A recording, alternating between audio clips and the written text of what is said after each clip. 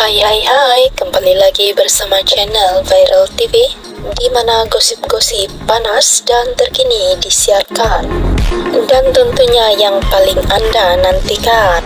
Terima kasih atas sokongan Anda semua.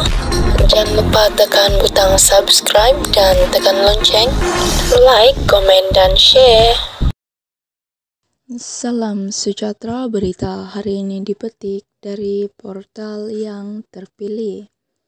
Yusuf harap isu Sarah Saman kakak ipar Ira Khazar tak berpanjangan.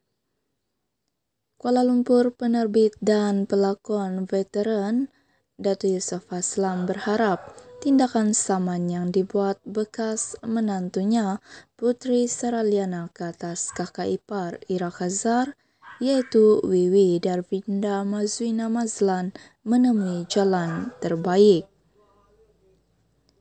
Yusuf ketika dihubungi berkata, dia turut berharap krisis yang berlaku tidak mengganggu ketentraman Sarah dan dua cucu kesayangannya.